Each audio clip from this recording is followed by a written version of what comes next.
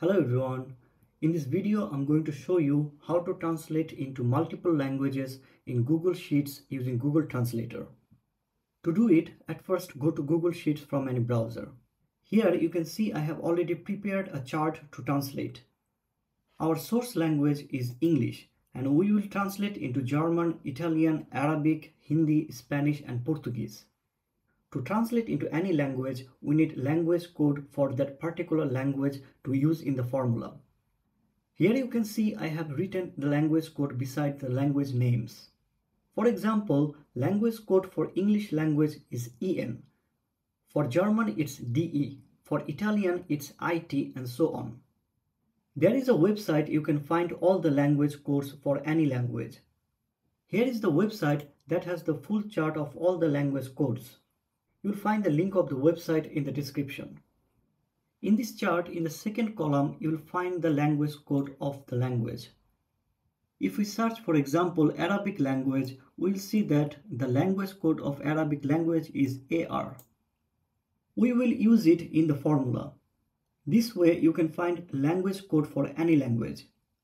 Now let's go back to Google Sheets. At first, we will translate the word hello to German language. To do it, at first click on the cell. Now in the formula box, type equal Google Translate parenthesis, then type the position of the word hello, which is A2. Then type the language code in apostrophes, which is EN for English. And finally type the language code for target language, which is DE for German. Then press enter. Here you can see the word hello has been translated to German language. To translate into Italian language, at first copy the formula. Then click on the cell of Italian language.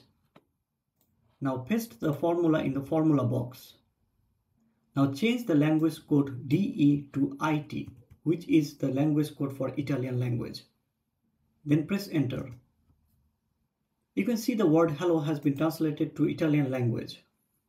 Now you have to do the similar thing for the other languages.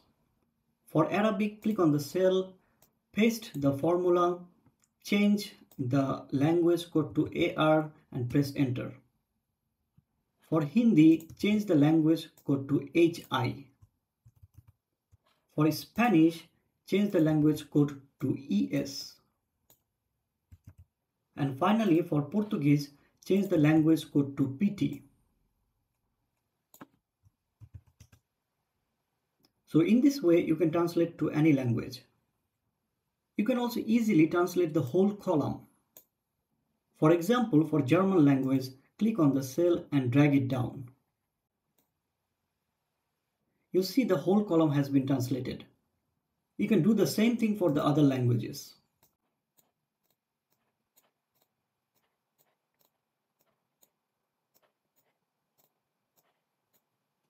You can also add more words in the column to translate.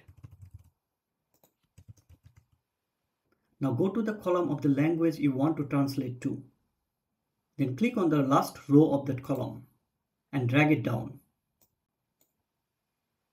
Then the new words will also be translated. You can also do the same thing for the other languages.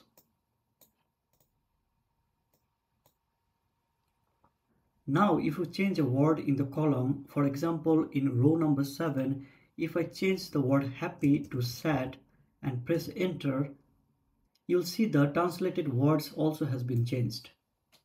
So this is the way you can translate into multiple languages in Google Sheets using Google Translator.